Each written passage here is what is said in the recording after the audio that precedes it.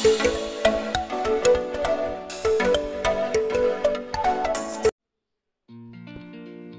everyone welcome to my channel आप सभी को मेरा चैनल जीएसडी सर में स्वागत करता हूँ। आज एक देखेंगे रिक्वायरमेंट आया है एमसीएल की तरफ़ से। जो इंटरनल सर इंटरनल रिक्वायरमेंट है दरअसल ये ओपन टू ऑल नहीं है।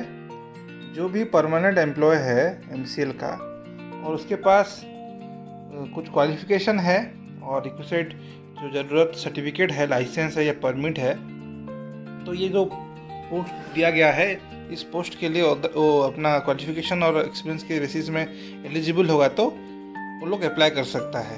तो देखेंगे, देखिए, यहाँ पे दिया गया है कि आप परमानेंट एम्प्लॉय होना चाहिए फ़र्स्ट तो एम का, और उसके पास जो क्वालिफिकेशन चाहिए, वो या सर्टिफिकेट लाइसेंस ये सब होना है तो इसके बारे में हम डिटेल देखेंगे। इसमें मैं बोलूँगा डिटेल पोस्ट का कौन सा पोस्ट है?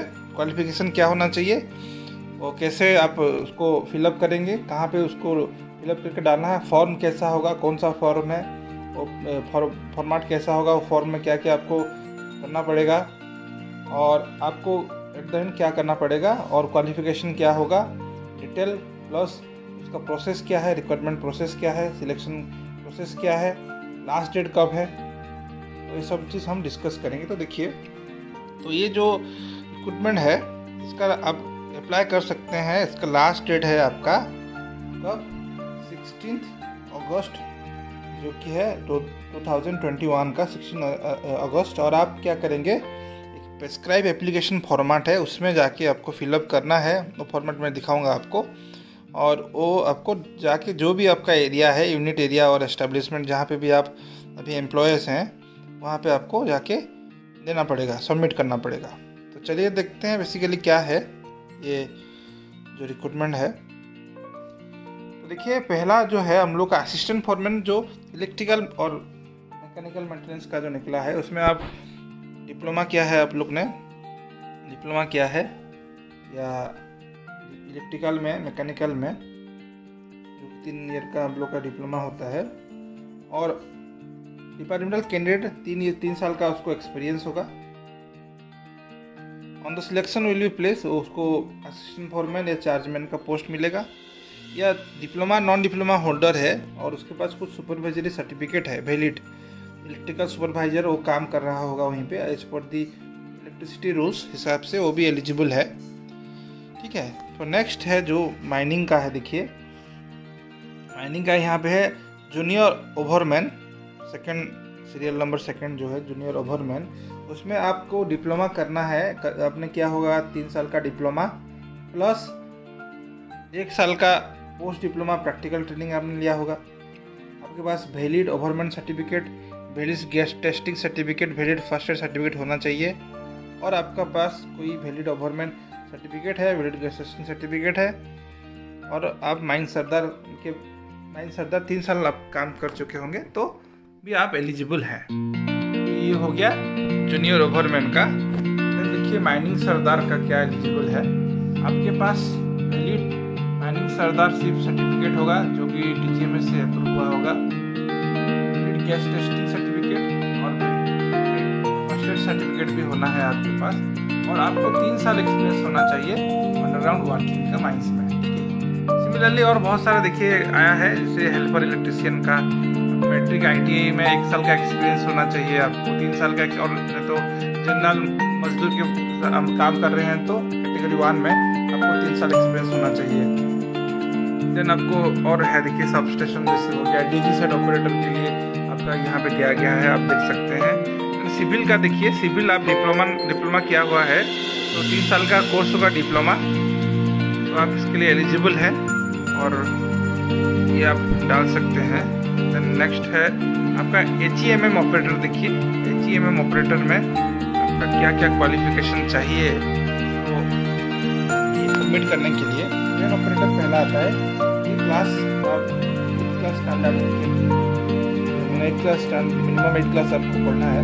पढ़ चुके हैं तो क्वालिफिकेशन होना चाहिए। Then valid transport bus licence होगा। दो साल का सर्विस पीरियड आप वहाँ पे काम कर और वो एक साल उसमें जॉब ट्रेनिंग हो है डोजर ऑपरेटर और आपके पास ट्रांसपोर्ट लाइसेंस हेवी मोशन में ये मूविंग व्हीकल का आपके पास लाइसेंस होगा। एक साल का सर्विस पीरियड आपका हो चुका है तो आप इसके लिए एलिजिबल हैं। नेक्स्ट तरह ग्राइडर ऑपरेटर भी देखिए। ग्राइडर ऑपरेटर भी एट क्लास है। आपके पास वैलिड सर्टिफिकेट होना है। एक तीन साल का एक्सपीरियंस चाहिए। ड्रिल ऑपरेटर का एट क्लास स्टैंडर्ड उसका एलिजिबिलिटी परमानेंट एम्प्लॉय होगा। दो साल एक्सपीरियंस उसमें से एक साल आपको ट्रेनिंग आपने लिया होगा। डॉम्पर ऑपरेटर भी वैसे ही एट क्लास और एक साल ट्रेनिंग आप एक साल ट्रेनिंग के साथ साथ आपके पास सर्टिफिकेट भी होना है valid certificate then pay loader operator eight class और दो साल का एक्सपीरियंस एक साल उसमें ट्रेनिंग सोबेल ऑपरेटर दो साल का सर्विस पीरियड मैट्रिक आपने मैट्रिक किया होगा तो भी आप इसको डाल सकते हैं। और दो साल का मिनिमम आपका वर्क एक्सपीरियंस होगा एमसीएल में, और उसमें से एक साल का ट्रेनिंग आप लिए होंगे heavy earth moving machinery operation में। Then surface miner operator matric के साथ आपको वैलिड ट्रांसपोर्ट होगा। और दो साल एक्सपीरियंस प्लस एक, आपके पास एक ईयर का ट्रेनिंग होगा। ड्राइवर के लिए चाहिए। एट क्लास ड्राइवर एंड उसके उसके पास वैलिड ट्रांसपोर्ट सर्टिफिकेट भी होना है तो उसके लिए अप्लाई कर सकता है। उसके साथ आप देखिए मजदूर हो गया ऑटो इलेक्ट्रिकल कैटेगरी टू और ऑटो इलेक्ट्रिकल आपका एक्सकावेशन में और ये ई में देगा। तो ये मजदूर के लिए नॉन आईटीआई और मेट्रिकुलेट चाहिए, एक साल का सर्विस कंपनी में चाहिए। फॉर्म ऑपरेटर, कैटेगरी टू है तो दो साल का सर्विस कंपनी में, और वो कुछ लिटरेट होगा, एजुकेटेड होगा उसका मतलब कन्वेयर ऑपरेटर भी लिटरेट जानता होगा, तीन साल का मिनिमम उसको एक्सपीरियंस चाहिए। हेल्पर या ट्रेनिंग चाहिए तो उसको मस्ट एट क्लास स्टैंडर्ड और परमानेंट एम्प्लॉय होना है उसको, वहाँ का तो ये सब जनरली हेल्पर के लिए चाहिए। तो और भी कुछ देखिए, जैसे टेक्नीशियन टेक्नीशियन डेंटल ये सब पैरामेडिकल स्टाफ उसका भी निकला है, ये भी आप जो है एलिजिबल है तो वो इसको डाल सकता है। इसको देख लीजिए एक बार। क्या क्या है? फार्मासिस्ट ये सब है। फिजियोथेरापी स्टाफ नर्स जनरली ये सब है। देन क्वालिटी कंट्रोल का भी निकला है। जूनियर केमिस्ट आपको साइंस में केमिस्ट्री में आप लोग ग्रेजुएट हैं और वहाँ पे काम कर रहा है। एक साल हो गया है वो कंपनी में एमसीएल में। तो ये इसके लिए एलिजिबल है। जूनियर टेक्निकल इंस्पेक्टर भी आप लोग ग्रेजुएट हैं केमिस्ट्री से और आपको एक साल हो गया है वहाँ पर काम कर रहे हुए। तो आप इसको डाल सकते हैं। सिक्योरिटी का भी वैसे निकला है। देखिए सिक्योरिटी का क्या होगा? सेवन स्टैंडर्ड से क्या क्या स्टैंडर्ड है डिटेल दिया गया है यहाँ पे। आप देख सकते हैं। इंपॉर्टेंट क्या है? इसका लास्ट डेट है आपका सिक्सटीन अगस्त और ये ये महीना का जो अगला अगला महीना है। और जो इसे, ये एलिजिबल नहीं है कौन? जो हायर ग्रेड एंड कैटेगरी में काम कर रहा है ऑलरेडी वो इसके लिए एलिजिबल नहीं है। जो आप लाइसेंस या टेक्निकल एजुकेशन जो क्या है, वो अप्रूव होगा। University board A I C T जिस जो भी अथॉरिटी होगा गवर्नमेंट से, उससे अप्रूव होगा लोग एलिजिबल है।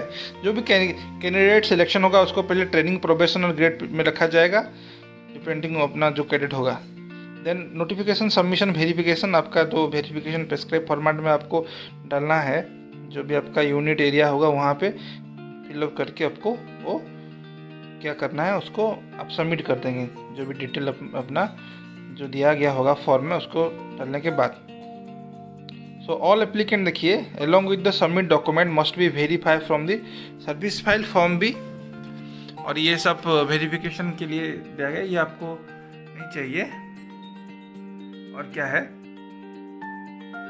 कि application complete in all respect must be ensure to reach और ऐसा है कि जो सब एप्लीकेशन है, ये जनरली बोला गया है, आपको तो आपका काम है, आपको खाली अपना जो एरिया है, वहाँ पे सबमिट करना है।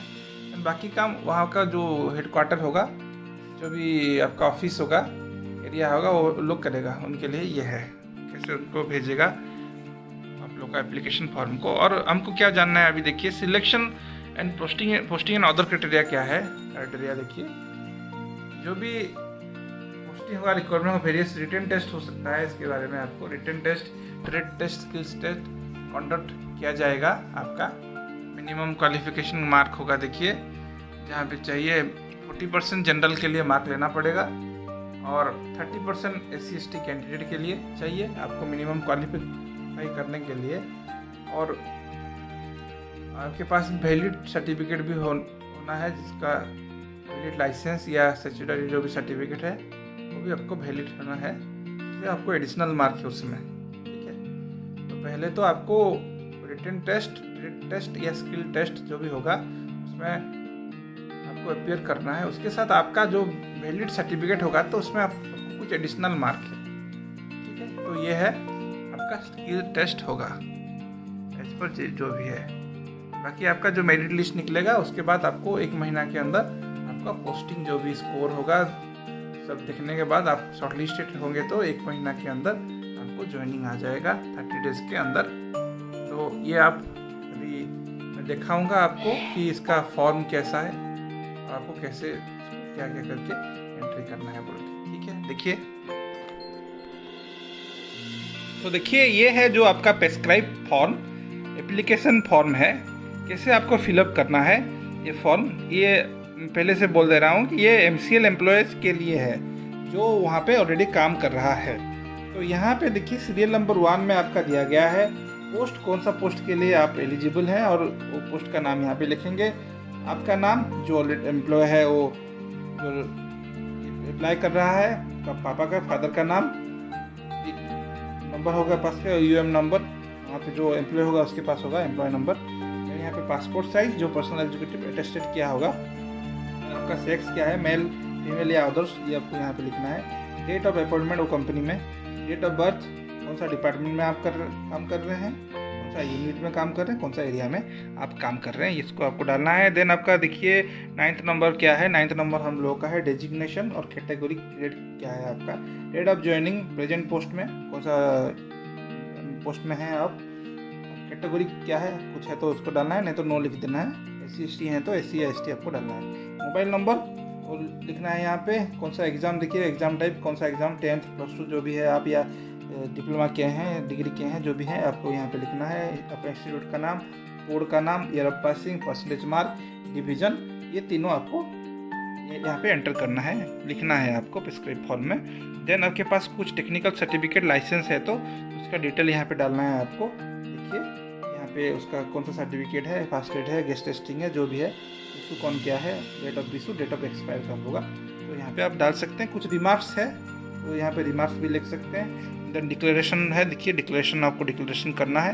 यहाँ पे डिक्लेरेशन पढ़ के यहाँ पे आपको सिग्नेचर करना है डेट लिखना है और उसके बाद आपको ये जो भी है एरिया आपका वहाँ पे जाके सबमिट कर देना है, ठीक है?